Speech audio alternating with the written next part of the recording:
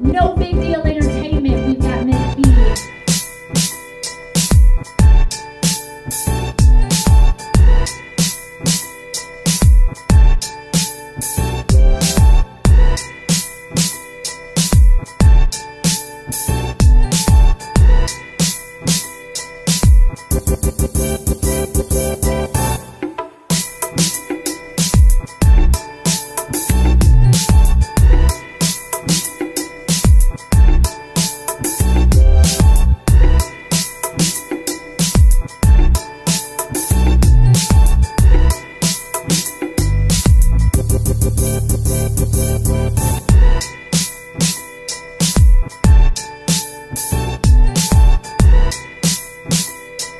Bye.